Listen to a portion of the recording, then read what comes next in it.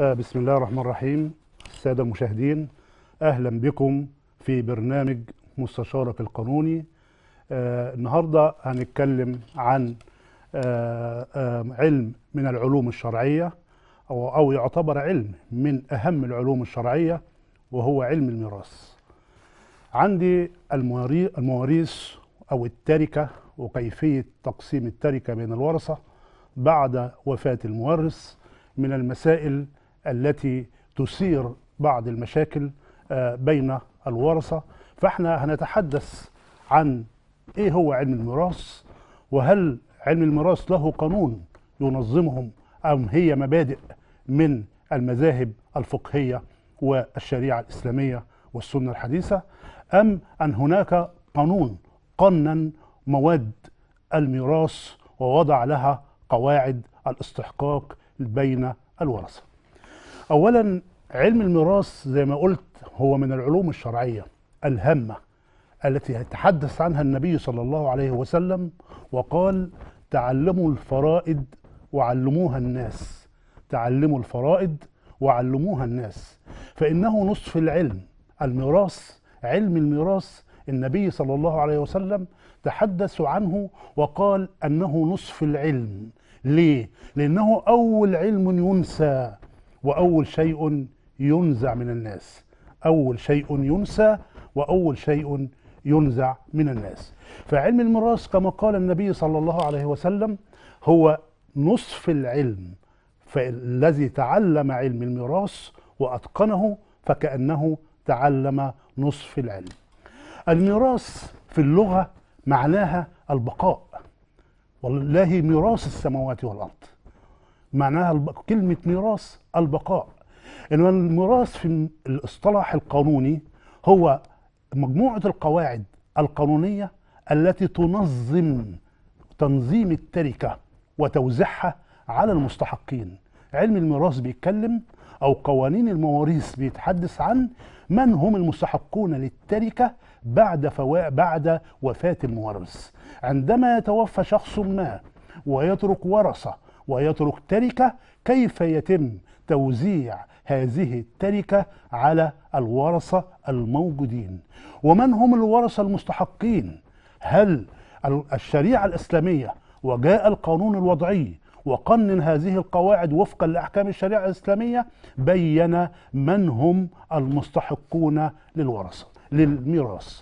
ولكن قبل ما نتكلم من هم المستحقون للميراث نتكلم الأول عن أركان الميراث. أركان الميراث لازم يبقى في وارث وفي مورث وفي تركة. وارث يعني لو واحد توفى ولم يترك تركة وترك ورثة يبقى مفيش ميراث. طب واحد توفى وترك ورثة ولم يترك تركة يبقى مفيش ميراث. طب لو واحد توفى وترك تركة وما تركش ورثة يبقى هنا التركة تقول للدولة ويبقى هنا مفيش ورثة توزع عليهم التركة الشرعية. إذا عشان أقول في علم ميراث وأقول في قانون ميراث يوزع ونوزع تركة يبقى لابد إن في ثلاث أركان. في مورث يعني إيه مورث؟ يعني شخص توفى وفارق الحياة. رقم اتنين في تركة تركها بس التركة دي تكون خالية من الديون. ما يكونش عليها ديون لأن لا تركة إلا بعد سداد الديون يعني سد الديون الأول يعني المورث ده لو توفى وترك ديون يبقى أول حاجة أسدد هذه الديون وما تبقى من التركة يتم توزيعها على مين؟ يتم توزيعها على الورثة الشرعيين طيب هو الورثة الشرعيين هم مين الورثة؟ اللي المفروض يستحقوا الميراث بعد فوات المورث بعد وفاة المورث قبل ما نقول من هم الورثة هنتكلم في شروط الميراث. شروط عشان الورثة تستحق ميراث لابد من تحقق وفاة المورث يعني ليه؟ يعني لازم يكون المورث توفى. هل المورث لو موجود ينفع الورثة ياخدوا ميراث أو يحصلوا على ميراث؟ لا يجوز. لأن لازم يكون المورث توفى لأن التعامل على تركة إنسان وهو على قيد الحياة باطل ولو برضاه. التعامل على تركة إنسان أو في تركة إنسان على قيد الحياة ولو برضاه باطل. إذا لابد أن يكون هناك مورث أي إن شخص ما فارق الحياة. رقم اتنين لابد أن يكون هناك ورثة. ورثة شرعيين وهم دول اللي هنتكلم عن المقصود بالورثة. رقم ثلاثة إن ما يكونش فيه مانع من موانع الميراث. هو في موانع ميراث؟ أيوه في موانع ميراث. يعني ممكن المورث يتوفى ويترك ورثة وأحد الورثة اللي المفروض يستحق ويحصل على ور... على ميراث لا يستحق الميراث. طب إيه هو موانع الميراث؟ إيه الموانع التي تمنع الوارث أن هو يحصل على ميراثه من مورثه. أول حاجة مانع القتل. يعني إيه مانع القتل؟ يعني الوارث إذا ثبت أن قتل مورثه فيمنع من الميراث. ممكن إنسان له جد أو شخص ما يرثه فهو استعجل وقام بقتله قد يقوم بالحصول على الميراث منهم. نقول له طالما القتل مانع من موانع الميراث. إذا الوارث الذي قتل مورثه يمنع منين يمنع من الميراث. ولكن ما هو المقصود بالقتل؟ هل القتل الخطأ؟ القانون وضح هذه المسألة. وقال المقصود بالقتل هو القتل العمد العدوان.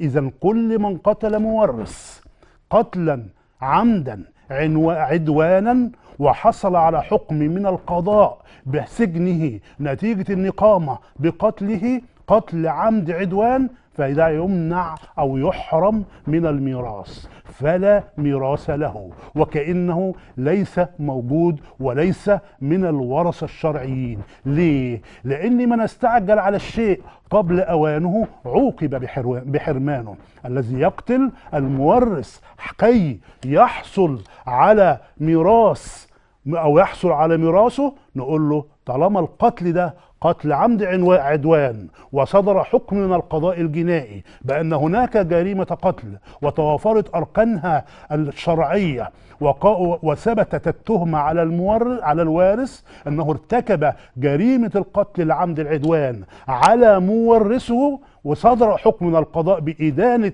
هذا الوارث أو إدانة المتهم بذلك نقول له أنت كده مانع من موانع الميراث ويمنع أنه يحصل على أي شيء من ميراثه. إذا القتل رقم اثنين الشهادة الزور الذي يشهد زورا على المورث ويترتب على الشهادة الزور أنه يحكم بإعدام المورث. هذا الشاهد الوارث يعني لو كان هناك أحد الورثة سواء كان أبناء أو أقارب أو أو أي نوع من أنواع الورثة وشهد في جريمة ما على المورث بشهادة الزور. ترتب على شهادة الزور أنه حكم بإعدام المورث هنا يمنع من الميراث. نعطي مثال على ذلك. عندما يكون المورث متهم في جريمة قتل فيأتي أحد الورثة ويشهد أمام القضاء بأن المورث هو الذي ارتكب جريمة القتل. وثبت بناء على شهادة هذا الوارث أنه ارتكب القتل العمد العدوان ثم حكم على المورث بالإعدام شنقا. فهنا نقول للوارث الذي شهد شهادة الزور أنت هتعاقب جنائيا عن جريمة شهادة الزور أمام القضاء الجنائي وفي نفس الوقت هتحرم من الميراث؟ ليه تحرم من الميراث؟ لأن شهادة الشهاده الزور بتاعتك يا يا وارث التي ترتب عنها أو نجم عنها أنها أدت إلى الحكم بالإعدام على المورث فكأنك أنت ارتكبت جريمة القتل العمد العدوان على المورث. يعني سواء أنت قتلت المورث قتل عمد عدوان سواء كنت أنت آه، شريك في الجريمة أو فاعل أصل على في الجريمة أي سواء كان لك دور بارز على مسرح الجريمة في ارتكاب جريمة القتل أو كنت لك دور كشريك بالمساعدة أو شريك بالتحريض أو شريك بالاتفاق وثبت ذلك في الحكم الجنائي فأنت هنا تعتبر آه، مرتكب لجريمة قتل عدوان أو شهادة الزور بتاع سعادتك اللي أنت شهدت زورا وعدوانا على المورث وترتب عليه حكم بإعدامه. هنا نقول لك أنت هتعاقب جنائيا عن جريمة شهادة الزور التي قد تصل أيضا إلى الإعدام وحتى لو لم يحكم عليك بالإعدام وحكم عليك بالسجن أنت أيضا هتحرم من الميراث لأن توافر فيك الحكم وهو القتل العمد العدوان. ده المانع الأول الذي يمنع الوارث من الحصول على الميراث. المانع الثاني وهو مانع اختلاف الدين. لا توارث بين المسلم وغير المسلم. إذا مانع الدين لو مات شخص وترك ورثة كان مسلما وهم غير مسلمين فلا توارث بين المسلم وبين غير المسلم. أو كان غير مسلم وهم مسلمين وتوفى فهو لا توارث بين المسلم وبين غير المسلم. اذا دي موانع من موانع الميراث التي تمنع الوارث انه يحصل على نصيبه الشرعي في الميراث. ولكن قبل ما نتحدث عن الورثة الشرعيين في الميراث نتكلم على أو أو نرد على بعض المستشركين اللي بيقولوا أن الشريعة الإسلامية أو قانون الميراث ظلم المرأة في الميراث إنها أعطاها نصف الميراث ولم يعطي وأعطى الرجل ضعف المرأة في الميراث فهم رأيهم أو بيقولوا إن الشريعة الإسلامية ظلمت المرأة في الميراث ولم تعطيها نص مثل الرجل وبينادوا الآن ويقول إحنا عاوزين مساواة الرجل مع المرأة في الميراث. نرد عليهم ونقول لهم لقد جاءت الشريعة الإسلامية وجاء من بعدها القانون الوضعي اللي هو قانون الميراث قانون رقم 77 لسنة 1943 وأنصف المرأة وأعطى لها حقوق في الميراث كانت لا تعطى لها قبل الشريعة الإسلامية وقبل أن يأتي القانون وينظم الميراث. إيه الدليل على ذلك؟ نقول إن المرأة كانت قبل الإسلام. المرأة كانت قبل الشريعة الإسلامية لا ترث. ليس لها ميراث بل أن المرأة كانت وعاء للإنجاب ليس لها دور وكانت في بعض الأحيان تباع وتشترى. ولكن الشريعة الإسلامية جاءت واختصت النساء دون الرجال بقواعد معينة في الميراث. ألو؟ معنا. اتصال ألو؟ أم ألو. محمد؟ ألو؟ أيوة أم محمد. أيوه معي حضرتك حضرة المستشار. اتفضلي يا فندم اتفضلي يا أم محمد. عندي حضرتك سؤال آه، بخصوص م- ميراث اتفضلي يا محمد.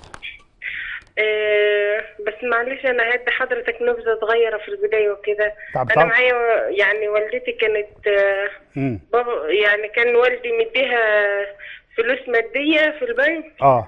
وكان مشتري لها بيت. وكتب شاري إيه. شاري لها إيه؟ بيت؟ آه. بيت. منزل وكتب آه البيت ده باسمها منزل آه تمام. وهي آه توفت؟ وهي توفت. وتركت مين يا فندم؟ نعم؟ تركت مين ورثة؟ مين الورثة اللي تركتهم آه، بنتين وولدين. تركت بنتين؟ آه وبولدين وولدين. بنتين ولادها آه تمام. آه. بس ولادها آه إحنا بنتين وولدين. في أب أو أم؟ لا ما فيش. في زوج؟ بس أنا عايزة في زوج؟ لا عايزة أقول آه في زوج بس أنا عايزة أقول الزوج لحضرتك موجود؟ حاجة. آه، ثواني لحظة ثواني. الزوج موجود؟ آه موجود. زوجها موجود؟ أيوه طب ما موجود. يرث الزوج يرث. لا طب ما أنا عايزة أقول لحضرتك اتفضلي. يا فندم اتفضلي.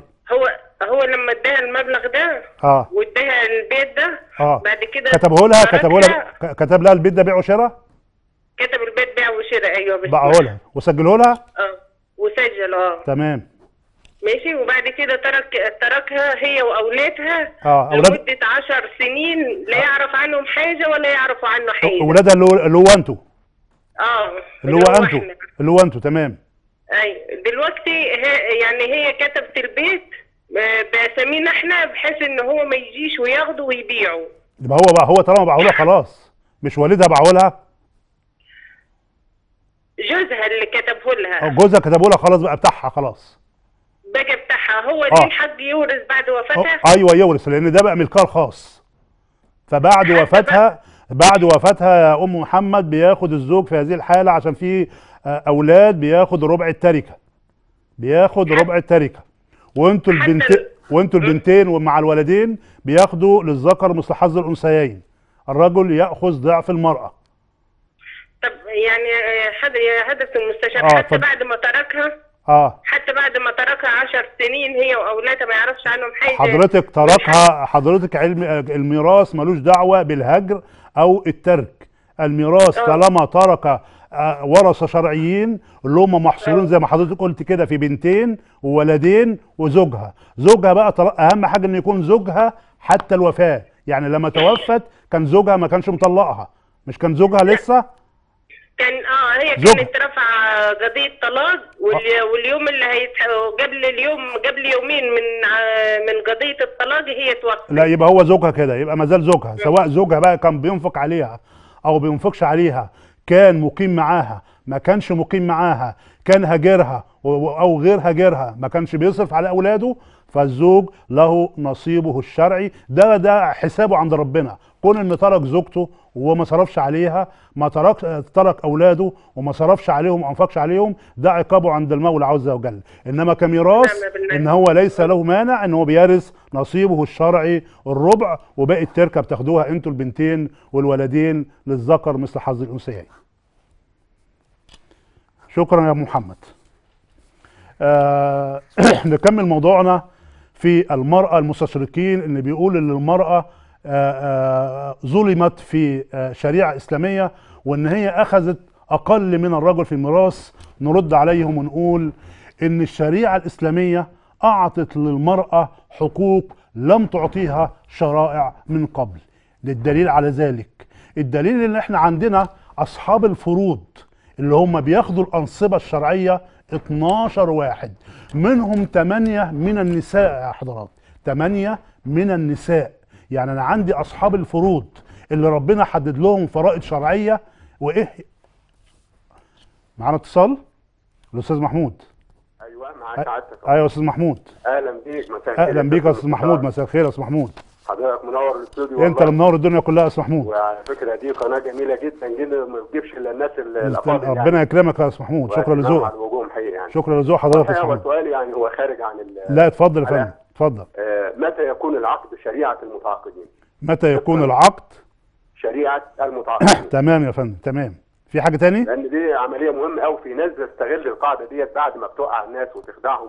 آه. يقول لك النهارده ما دام ماضينا يبقى العقد. لا المفروض يتوافر فيه الشروط القانونية ويتوافر فيه تمام يا فندم. تمام، تمام. في حاجة تانية يا فندم؟ الطرفين. تمام. لكن في ناس النهارده بعد ما بتوقع الناس في آه. التعاقد يقول لك العقد بشريعه المتعاقدين يعني ما دام مضيت لا. تمام. عايزين حاجة تحمي الراجل اللي وقع تمام. في حاجة تاني؟ سؤال تاني؟ لا أنا بشكر سيادتك جدا شكرا أنا شايف يعني شكرا يا أستاذ محمود. تحياتي يا أستاذ محمود. شكرا. اتفضل يا فندم اتفضل اتفضل. آه، يا فندم. أستاذ محمود بيقول العقد شريعة المتعاقدين. يعني إيه حضرات العقد؟ دي نص في القانون المدني. هنخرج شوية عن الميراث. العقد شريعة المتعاقدين. آه، طب نتكلم الاستاذه عايدة الأول. أستاذة عايدة؟ أيوه استاذه عايدة اتفضلي. ألو السلام عليكم يا عليكم السلام يا استاذه. عايدة. اتفضلي يا استاذه عايدة. أنا اسمي عايدة. أيوه. امي توفت آه الله يرحمها. وسابت آه. حتتين أرض مباني كبار واحدة نص فدان وواحدة ربع فدان. سابت قطعتين أرض واحدة نص فدان؟ آه وسابت بيتين. آه وسابت بيتين. آه. وتركت ورثه مين يا وتركت ورثه مين إيه. تركت ورثه مين يا استاذه عايدة. تركت مين تركت الورثه ورثه هي ما تركتش ورثه إحنا إيه ثلاث بنات وولدين أيوه أنتوا ثلاث بنات ول... قبل ما تموت. طب خليكي معايا يا أم محمد. يا يا, أستاذة عايدة. يا أستاذة عايدة. نعم. خليكي معايا. هي لما توفت تركت مين؟ بنتين؟ ثلاث بنات ثلاث بنات؟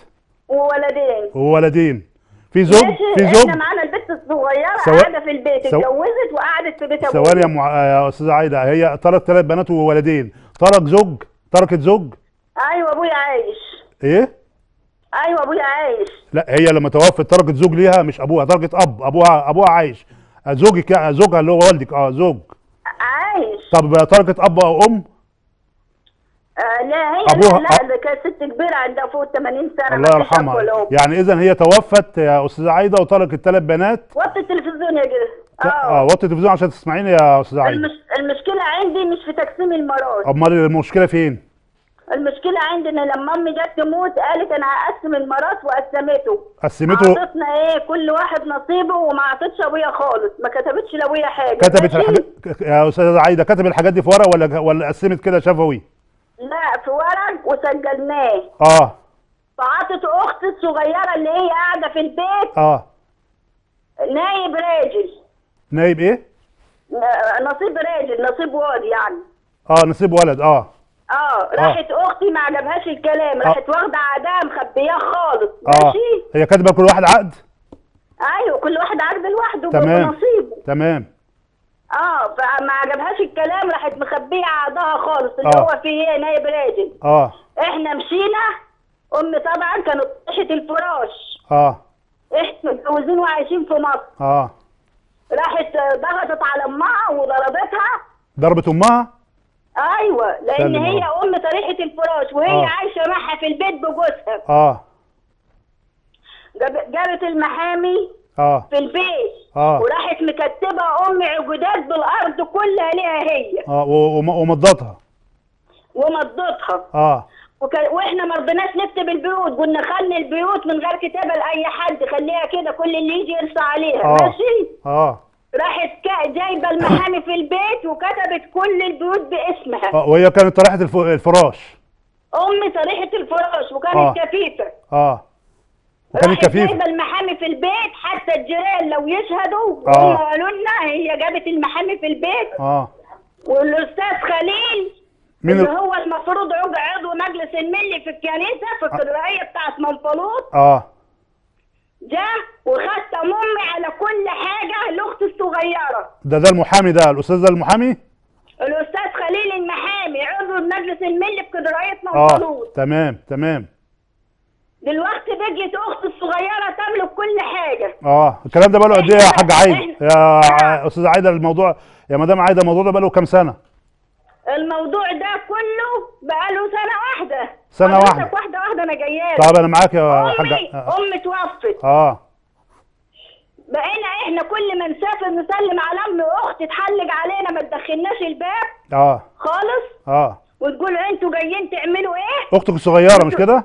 آه وتجيب لنا بلطجية تضربنا في البيت. عشان ما تعرفوش اللي عشان ما تعرفوش إن هي إن هي مضتها على ال-. على كل حاجة. أيوه عشان ما نعرفش إنها كاتبة كل حاجة. آه تمام. وامي طريحة ملهاش دعوة حتة حاجة ملقحه على السرير. آه.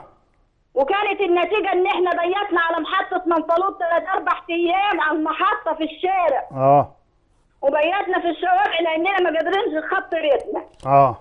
ماشي؟ ماشي. ولما أمي ماتت أنا آه. يوم الأسبوع بتاع أمي أختي اشتكتني وبيتتني في الحجز في منفلوط اشتكيتك ليه؟ اشتكتني قالت أنتوا جايين تعملوا إيه؟ أنتوا جايين تاخدوا الحاجة وراحت ضربانة وراحت ع- قالت بت- بتقول للناس إن إحنا أربعة وجايين ناخد حاجتها آه. وهي واحدة بس. ورحتوا ورحتوا وديتكم وديتكم الاسم يعني؟ ودتنا بيتتنا في الحجز وبعدين الموضوع انتهى على إيه؟ ورث على إيه؟ آه الموضوع انتهى على إيه؟ آه. لما عملت لكم المحضر. من إيه يعني آخر يوم في العيد آه. بتاع الضحية رحنا قلنا نسلم على أبويا لمينا أخوات الصبيان آه. واخت البت اللي معايا ورحنا نسلم على أبويا. آه. راحت متلجيانا مبهدلانا وترمح وراحت مطلعة كيس الورق وتقول أنتوا جايين تعملوا إيه؟ أمك وقفت بقى خلاص. آه. أمكم بيعالي الحاجة. آه. أنتوا جايين تعملوا إيه؟ مم. وراحت تجري عشان تشتكينا تاني. إحنا لينا ثلاث جواب في منفلوط هي مشتكيانا في مركز منفلوط طيب شكرا يا مدام عايدة أنا هجاوبك أنا شكرا جزيلا. شكرا أستاذ عايدة. طبعا مدام عايدة بتقول إن هو في ورثة وطبعا اللي هو البنت الصغيرة آه، راحت مضت أمها وأمها كانت طرحه الفراش. ده بنسميه مدام عايدة إن هي كانت مريضة مرض الموت. مريضة كانت كفيفة وكانت مريضة على الفراش وتوفت فهنا من حق اللي هو تطعنه على العقد البيع اللي هي كانت مض- مضت أمها عليها وهي كفيفة وهي ضريرة لأن هي عندها عاهة مستديمة وتدفعه بجهالة العقد البيع المحرر بين البنت الصغيرة أو أختك الصغيرة وبين المتوفاة اللي هي أمكم وعن طريقها تستطيعوا يتبين للمحكمة إن هي ساعتها كانت مريضة مرض الموت وإن هو كده هتستطيع المحكمة أو تقدروا توصلوا على حكم برد وبطلان العقد. وفي هذه الحالة هتستطيعوا إن هو تاخدوا تحصلوا على حقوقكم فروحوا لمحامي متخصص مدني واحكوا له الوضع كله. هيرفع دعوة بجهالة العقد وبطلانه ورد وبطلان العقد لعدم توافر أركانه وشروطه لأن كانت المتوفاة في ذلك الوقت ال- أو ال- الأم في ذلك الوقت اللي هي توفت كانت ضريرة وكانت كفيفة وهي كانت مريضة مرض الموت ولا تشعر بما يحدث وهم طبعا مضوها بغتة بدون ما تعلم فهتقدروا تستطيعوا. بس لازم تروحوا لمحامي متخصص في القضاء المدني هو يرفع لكم دعوة وتوصلوا على آه، حقوقكم إن شاء الله. نرجع ل آه، آه، معانا اتصال أستاذ محمد. أيوه يا باشا. أهلا بيك يا أستاذ. محمد عليكم السلام ورحمة الله. ازيك يا معالي الباشا. أهلا بيك يا أستاذ محمد أمرني. في زوج وزوجة. زوج وزوجة. الرا... الزوج طلق الزوجة علشان ابنها الكبير يطلع من الجيش. طلق الزوجة علشان ابنها الكبير يطلع من الجيش. ابنها الكبير يطلع من الجيش. مخلي الناس ديت مخلفة ولدين وست بنات. آه الزوجة. الزوج الزوج والزوجة مخلفين ولدين وست بنات. آه في ولدين وست بنات. وست بنات. عندهم 10 فدادين. هم موجودين ولا توفوا؟ لا الزوجة توفت. الزوجة توفت. آه. طب الزوجة اللي هي عندها الأولاد دي تملك هي العشر فدادين ولا الزوج اللي يملك؟ لا، الزوجة لها آه، لها خمس فدادين والزوج له خمس فدادين. خلاص يعني هي اذا هنتكلم في الخمس فدادين. الخمس فدادين بتاع الزوج لسه ما لسه حي ما مش هنتكلم عنهم. ما هو دلوقتي الزوج عايش آه. وسنه 85 سنة. تمام ربنا يديله الصح ولاده الصبيان اللي هم الاثنين الولدين اللي هم الولدين. وضعين لهم على 10 فدادين. واضعين يدهم على 10 فدادين. وما بيدوش للبنات أي حاجة. خالص. طب ما ما استخدموش الطرق الودية معاهم؟ فاستخدموا دون ما فيش أي ما فايده راحوش للعمده أو شيخ البلد عندكم أو أو الكبير بتاعكم يتكلم معاهم؟ رافض- رافضين أي قعدة ورافضين أي حاجة. إيه السبب يعني؟ ما إيه السبب ولا كده من غير سبب؟ البنات خايفة إنها تناحي أو تشتكي آه. عشان حق أمهم يوم ال- الصبيان آه. الراجل بيخاف منهم. يوم كاتب لهم الخمس فدادين بتوعه لجوز الصبيان. الخمس فدادين تانيين آه يبقى تحرق يبقى- يبقى تحرموا من الخمس فدادين التانيين. آه. فهل هم من حقهم يطالبوا بالريع من وفاة الزوجين؟ طبعا طبعا يزرعوا بالريع بتاع الخمس أفدنة اللي هي الزوجة اللي هي أمهم توفت. طب مش هيطالبوا الا بعد الا بعد الا بعد ابوهم ما يموت؟ ما خلاص بعد ما ما هو مش هيعرفوا بقى ابوهم هيموت دي إمتى مش بتاعتنا. ما هو ما ممكن ممكن ابو أصل الموضوع مش بالسن يا يا أستاذ محمد ما ممكن أبوهم ده يعيش 30 40 سنة تاني؟ يعني الله- ربنا يديله طول 80 العمر سنة. أيوه معاك. هو عنده 85 سنة حاليا. طيب ماشي مش إحنا هل هل الريع يسري من آه، آه، ماشي معاك يا أستاذ محمد. الريع بيسري يا أستاذ محمد من تاريخ الوفاة من تاريخ وفاة الأم أمهم. هم من حقهم إن ياخدوا الريع ويطالبوا بريع الأرض من تاريخ الوفاة لأن من تاريخ وفاة الأم أصبح المي... أصبح هناك ميراث بين الولدين وبين الست بنات وفي نفس الحق من حق ال- الست بنات يطالبوا من الولدين ريع الأرض من تاريخ وفاة الزوجة. إنما هما بقى بتقول لي خايفين لأحسن الزوج اللي هو الأب يعني يكتب الخمس فدادين التانية للولاد لو هم اشتكوا خلاص هيفضلوا قاعدين مكتوفين الأيدي كده إلى ما لا نهاية. ما نعرفش بقى هو يتوفى إمتى. الأعمار بيد رب- ربنا. ممكن هم اللي يتوفى قبله. مش الشرط مش معنى إن هو عنده 85 سنة إن ده بداية أو نهاية لوفاته. ده الأعمار كلها بيد الله سبحانه وتعالى ودي حقوق لابد أن تطالب. هو بقى لو كتب ما ممكن هو يكون كاتب وهم ما يعرفوش ويفضلوا قاعدين وما يشتكوش ويفاجئوا بعد الوفاة إن هم كأن هو الوالد ده كان كاتب الخمس أفدنة للولدين وبعد ما يتوفى يفاجئ أو يفاجئوا البنات ست بنات دول اللي هو كان كاتب لهم الخمس فدادين ومسجل لهم ومخلصين كل حاجة يبقى كده قعدوا مكتوفين الأيد دون أن يطالبوا. لا هم يطالبوا بحقهم الشرعي اللي هو الريع بتاع هذه الأرض ديت. أما بقى إيه اللي ممكن يحصل بعد كده؟ ده كله في علم الغيب وعند ربنا وربنا المنتقم من الظالم. أيوه تليفون معايا يا محمد.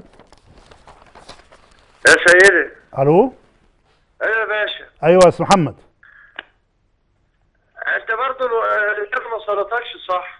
قول لي عاوز أمرني؟ الأمر لله واحد ربنا يصلح حالك. أنا ف- بقول لك أنا متجوز أيوه. وحماية اللي هو أبو مراتي مات حماك. حماية. آه. يقوم قالوا تعالى عشان نتورثه حماك توفى ترك مين يا حاج محمد؟ ترك ترك ست بنات ودي الصبيان أيوه ست صبيان. ما أنت قلت لي ست بنات وخمس. انت قلت ح- حماك ولا ولا ولا الزوجه ولا أمهم اللي ماتت؟ أنا مراتي ماتت. أيوه مراتك ماتت. وحماية مات. وحماك مات. تعالى عشان تاخد ورث. آه. يوم وزعوا الورث عليهم كلك واليوم عندنا أنا مش مدين لك. قالوا مش هنديك؟ آه. ليه؟ ما أنا مش عارف. ورحت أتكلم قال لي ما تجيش تطالبني عايز تشتكيني روح اشتكيني لا ما هو كده لازم يبقى تلقى القضاء. هو من غير أي سبب. ما أنا بقول لك حاول تشوف تشوف حد كبير عندك في العيلة يقعد معاهم ويشوف إيه السبب إن هو مش عاوز يقسم التركة. ما في بعد ان هم ما وافقوش من حقك بترفع دعوة اسمها دعوة قسمة المال الشائع بتعمل إعلام وراثة بتعمل اعلام إعلام وراثة في المحكمة عشان تبين الورثة المستحقين ونصيب كل وارث. وبعد ما بتعمل إعلام وراثة بترفع دعوة قضائية اسمها دعوة فرز وتجنيب أو دعوة قسمة المال الشائع بين الورثة الشرعيين. ده قسمة قضائية. طالما هم رافضين إن هم يقسموا التركة فمن حقك إنك ترفع دعوة قضائية بعد ما بتعلن إعلام وراثة الأول عشان تبين من هم الورثة ومن هم وهي وم- ومستحقاتهم إيه؟ مين اللي بياخد الربع أو النص على حسب الأنصبة الشرعية بتاعتهم وبترفع دعوة أمام القضاء تطالب بدعوة اسمها دعوة فرز وتجنيب. أو دعوة قسمه مال شائع المحامي بيعملها لك وبتحصلوا على حقوقكم كلها إن شاء الله ولكن لو كان في طرق ودية يبقى الطرق الودية أحسن بكتير لأن القضاء هتحصل على حقك أيوه بس طبعا في إجراءات بت- بتطول شوية بس في النهاية بتحصل على حقك عن طريق دعوة اسمها دعوة فرز وتجنيب أو دعوة قسمه المال الشائع بين الورثة الشرعيين. آه نخش في نقطة اللي إحنا قبل ما ننسى نتكلم في أن العقد شريعة المتعاقدين. يعني إيه حضرات الجملة الجميلة ديت؟ اللي هو العقد شريعة المتعاقدين. بمعنى إن لو في تعاقد بين بائع ومشتري أو بين ألف وب وتعاقدوا ووضعوا شروط معينة فالشروط ديت اللي أنتوا وضعتوها في هذا العقد أصبحت في حكم الشريعة بينكم أصبحت قانون بينكم أصبحت التزام عليكم تنفذوها. أنا لو أنا أبرمت عقد بيني وبين به أو بين شخص ما على شراء عقار معين أو أرض زراعية معينة ووضعنا الشروط والثمن والحدود والأركان ووضعنا شروط معينة وإحنا في كامل قوانا العقلية بدون أن يكون هناك إكراه أو استغلال أو تدليس يعني أركان العقد وشروطه موجودة تمام يبقى أصبح هنا العقد شريعة متعاقدين يعني أصبح العقد ملزم للمتعاقدين ملزم للمتعاقد الأول والثاني والثالث على حسب عدد المتعاقدين. طيب السؤال هل لو كان العقد باطل أو في أو في ركن من أركانه غير موجود أو لم تتوافر في شروط هذا العقد هل معنى ذلك إن العقد شريعة متعاقدين والعقد ملزم لأطرافه؟ نقول لأ. طالما في العقد باطل أو شروطه مش متوافرة من حق المتعاقد الذي يرفع دعوة ويطالب بفسخ العقد في حالة عدم توافر شروطه أو يطالب ببطلان العقد في حالة عدم توافر أركان العقد وهنا لو المحكمة حكمت بفسخ العقد أو حكمت ببطلان العقد هنا لا نستطيع أن نقول العقد شريعة متعاقدين يبقى العقد شريعة متعاقدين معناها أن طالما اتفقنا على شيء معين وكتبناه في ورق ومضينا عليه بإرادة حرة واعية دون استغلال أو إكراه أو تدليس أو استخدام طرق احتيالية وأركان العقد موجودة وشروط العقد موجودة يبقى إحنا ملتزمين. مفيش واحد يجي يقول لي لأ أنا بعد ما مضيت مش ملتزم بهذا العقد. نقول له طالما مضيت على وقعت على هذا العقد بإرادة حرة بأركان وشروط متوافرة في العقد دون أن تستخدم عليك وسائل احتيال أو اكراه أو خلافه فأنت ملزم بهذا العقد. وإذا لم تكن بتنفيذ هذا العقد من حق الطرف الثاني أن يلجأ للقضاء ويطالب بإلزامك بتنفيذ بنود العقد وإلا يتم فسخ العقد وإلزامك بالتعويض عن الضرر اللي هو أصابه. طب أنت تبين لك بعد ما أبرمت العقد أن هناك بطلان في العقد. خلاص ارفع دعوة حاول تتعامل معاه رضائي. قول له العقد ده فيه بطلان في كذا أو في كذا أو في كذا أو في كذا. زي واحد مثلا باع لك قطعة أرض ثم تبين إن قطعة الأرض مش موجودة أو هو ليس هو الملك ليه. نبدا نقول أنت ملتزم بدفع الثمن بالرغم ان الأرض اللي هو باعها لي ملهاش وجود ومش ملكه ملك الغير. واستخدم طرق احتيالية واستخدم عقود مزورة أثبت لي فيها إن هو مالك لهذا العقد. وثم بعد ما وقعنا على العقد بينه وبينه وحددت الثمن مع بيه معاه وتبين بعد ذلك إن هو ليس مالكا للعقد فهنا يعتبر باع ملك الغير.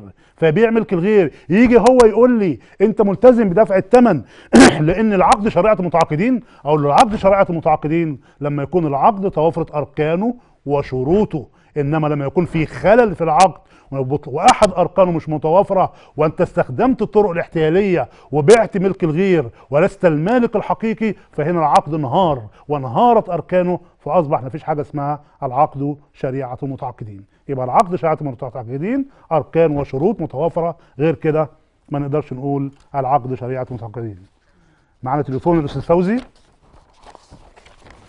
أستاذ فوزي؟ ألو؟ أستاذ فوزي معايا؟ أيوه بس أيوه أستاذ فوزي. والله لو سمحت يعني أنا كان ليا ستي و... آه، تبقى أم والدتي. أم والدتك. آه في آه. البلد. آه. فكان ليا اتنين خلان آه اتوفوا قبل هي ما تموت. آه. اللي هم. يعتبروا ولادها يعني. آه ووالدتي ماتت قبلهم. آه. ماشي. فهي دلوقتي آه اللي ركب الدار بتاعتنا تبقى بنت خالي. آه. كان ليا ورث اسالها فيه آه إيه إيه؟ أيوه يا أستاذ فوزي. بنت خالي قاعدة دلوقتي في الدار بتاعت ستي آه. أم أمي. آه بنت آه، طيب ستك اللي توفت دي. من أسألها في- حقي. آه طبعا. إنت هي ستك اللي توفت دي تركت ورثه مين يا أستاذ فوزي؟ هي كانت آه، اتنين خلاني توفوا لا هي ستك لما توفت يوم ما توفت مين ما- الورثة ما سابتش بتوعها؟ ورثة ما سابتش حد. ما كانش لها أبناء؟ لا ما هو توفوا يا بيه. ولا بنات كلهم توفوا يعني يعني توفوا؟ آه، آه، توفوا آه. قبليها. آه. طب لما توفوا كان عندهم أبناء آه، أولاد يعني؟ البنات اللي توفوا دول قبليها. كان عندهم أبناء؟ لا ما فيش إلا أنا وأخويا اللي هو من بنتها. أنت أنت بقى تعتبر قريبها إيه تقرب لها إيه. تبقى ست ام والدتي. أم والدتك يعني أنت ابن ابن بنتها. ابن بن... ابن بنتها. آه ابن بنتها. آه آه ابن بنت. آه آه. واللي راكب الدار دلوقتي بنت آه بنت خالي. اللي هي تقرب لها إيه؟ تبقى آه آه، يعني آه أبوها يبقى ابنها برضه. يعني تعتبر آه، بنت ابن. ب- بنت خالي. ما هو بنت خالك بالنسبة ليها بالنسبة لها هي تعتبر بنت ابن. تبقى ستها برضه. ما هو ستها تعتبر هي بنت ابن المتوفية صح؟ أيوه. أيوه. بنت ابن المتوفية مش كده؟ آه. آه أنت بنت ابن إنما أنت ابن بنت. آه أنت ابن بنت. المتوفية. آه. صح يا أستاذ فوزي؟ أيوه. وهي تعتبر اللي هي قاعدة في الدار حاليا دلوقتي بنت ابن المتوفية. أيوه. صح معايا كده؟ أيوه. آه بنت الابن دي هي بتاخد التركة وانت بنت إيه وانت ابن بنت بتعتبر من ذوي الأرحام. آه. يعني هو الميراث لها هي للأسف يا أستاذ فوزي. ليها هي؟ آه لا هي. إنما أنت من ذوي الأرحام ولما يكون في أصحاب فروض وذوي أرحام أصحاب الفروض اللي بياخدوا التركة وبي- وبيتحجب ذوي الأرحام. لأن أنت ابن يعني بنت بنت خالي اللي تاخد وإحنا ما ناخدش؟ آه آه. بنت خالك لأنها تعتبر بنت ابن المتوفية. معايا كده؟ تعتبر بنت أيوه. بنت إنما أنت تعتبر ابن بنت المتوفية. أيوه. ابن بنت المتوفية ده بنسموها في الميراث ذوي أرحام. وب... وبنت ابن دي بتعتبر بتسمى أصحاب فروض. ولما يجتمع صاحب الفرض مع ذوي الأرحام صاحب الفرض هو اللي بياخد وبيحجب ذوي الأرحام. ماشي. ماشي يا أستاذ تحت أمرك يا أستاذ. ماشي. تحت أمرك يا أستاذ. آه، إحنا طبعا عندنا في ميراث بيتكلم عن أصحاب فروض وعصبات وذوي الأرحام. طبعا بياخد أصحاب الفروض الأول وأصحاب الفرائض اللي ربنا حددها في الميراث هم التلتين والنص والتلت والسدس والتمن والربع. دي أنصبة ست أنواع من الأنصبة اللي ربنا حددها لأصحاب الفروض. لا إما التلتين كميراث ولها حالاتها في التلتين لا إما النص ونص لها حالات في النص لا إما التلت ولها حالات التلت لا إما الربع وله حالاته لا إما السدس وله حالاته وإما التمن اللي هو له حالاته. هنخش في الموضوع بتاعنا اللي هنتكلم على ميراث البنات وان البعض بيقول إن البنت بتاخد أقل من الرجل نقول لأ أن الشريعة الإسلامية أعطت لأصحاب الفروض هم 12 أعطت من النساء 8 رقم اتنين أحيانا المرأة بتاخد في الميراث أكتر من الرجل. أحيانا المرأة بتاخد في الميراث أكتر من الرجل. قال لك اديني مثال على ذلك. لما يقول لك توفى رجل وترك بنت اللي هي بنته وعشرة إخوة أشقاء. ترك بنت وعشر إخوة أشقاء. البنت هتاخد نص التركة والعشرة إخوة أشقاء هياخدوا الباقي. طب هو لو كان طارق مثلا الراجل ده عم طارق عشرين جنيه. البنت هتاخد لوحدها عشرة جنيه. والعشر أبناء هياخدوا عشرة جنيه. يعني البنت في الميراث خدت لوحدها عشرة جنيه هنقول مثلا بدل ما 10 جنيه ترك 20 فدان. البنت ديت هتاخد لوحدها 10 فدان. والعشرة إخوة أشقاء هياخدوا 10 فدان يعني كل ولد أو كل أخ هياخد فدان. يبقى معنى كده إن البنت هنا خدت في الميراث أخضر أكتر من مين؟ أكتر من الذكر. يبقى نرد على المستشرقين ونقول لهم أن هناك حالات المرأة تأخذ فيها أكتر من الرجل. ده إيه تاني؟ أحيانا المرأة تتساوى مع الرجل في الميراث. تتساوى يعني تاخد زيه؟ يعني آه تاخد زيه. ندي مثال على ذلك. مات عن أخ لأم وأخت لأم. الأخ لأم والأخت لأم هياخدوا في الميراث التلت بالمشاركة بينهم. يعني الراجل لو ترك اتنين فدان الأخ الأخ لأم هياخد فدان والأخت لأم هتاخد فدان. الراجل لو كان ترك 100 متر أرض مباني الأخت لأم اللي هو تركها هتاخد م- 50 متر والأخ الام هياخد 50 متر. يبقى إذا الأخ أحيانا ال- ال- البنت تتساوى مع الرجل في الميراث. وأحيانا تاخد أكتر منه في الميراث وأحيانا إيه بقى؟ وأحيانا تحجب المرأة الرجل في الميراث. المرأة تحجب الرجل؟ أيوة تحجب الرجل. لما يقول لي مات عن بنت وإخوة لأم البنت تاخد التركة والإخوة لأم محجوبين ما خدوش حاجة. عشان الناس اللي بيقولوا المستشرقين اللي بيقولوا إن أحي- بتاخد أقل من الرجل نقول له لا في في حالات أن المرأة بتاخد فيها أكتر من الرجل في ميراث ودينا مثال عن البنت والعشر إخوة أشقاء. البنت خدت النص لوحدها خدت عشر أفدنة لوحدها والعشر إخوة أشقاء خدوا عشر أفدنة كل واحد فدان لوحده. وأحيانا بتاخد بتتساوى معاه وأحيانا البنت بتحجب الرجل زي ما قلنا مات رجل وترك بنت اللي هي بنته وإخوة لأم. البنت تحجب الأخوة لأم والبنت لوحدها تاخد التركة كاملة. آخر اتصال معايا الأستاذ سماح؟ ألو السلام عليكم. عليكم السلام أستاذ سماح. لو سمحت آه، أنا كنت عايزة أسأل حضرتك في حاجة. أموري يا أستاذ آه، سماح. إحنا عندنا عقد مشاركة. عقد مشاركة. ما- آه بينا وبين آه، ابن عمنا بس ابن عم بابا. آه. آه، ده مقاول. فإحنا عندنا عقد مشاركة. عقد بس مشاركة هو في إيه؟ في عقد مشاركة في إيه يا أستاذ؟ ع- في أرض. في أرض. أرض زراعية ولا مباني؟ لا أرض مباني ما بيننا وما بينه. أه تمام. آه، فحضرتك عقد المشاركة ده كان من 2005 أه. فهو حب يسرقنا فعامل ليه ملحق. ح- حب يسرقكوا؟ آه. عمل ملحق إيه؟ يعني إيه عمل ملحق؟ ملحق بقية العقد يعني. يعني مضيتوا عليه بس إحنا يعني؟ ما خدناش بالنا. مضيتوا عليه؟ آه إحنا مرينا عليه. دلوقتي الملحق ده بيقول إيه؟ الملحق اللي عمله للعقد ده بيقول إيه؟ بيقول يعني حاجة لازم تستلم الشرط آه، الشقق اللي هو مديها لنا آه. غير بمحضر تسليم وما بمحضر لنا تسليم؟ حق اللي إحنا آه بمحضر تسليم آه. وملناش حق في التصرف في أي شقة آه. غير بيه هو وبموافقته هو فاحنا ما خدناش بالنا من الشرط ده طب. غير بعد مرور الوقت هقول لحضرتك على حاجة الشرط ده شرط باطل. لأن في حاجة ال- الشرط ده الشرط المانع من التصرف له شروط ده اسمه الشرط. المانع من التصرف إن هو بيمنعكم من التصرف الشرط اللي حضرتك كاتبه في العقد ده شرط باطل.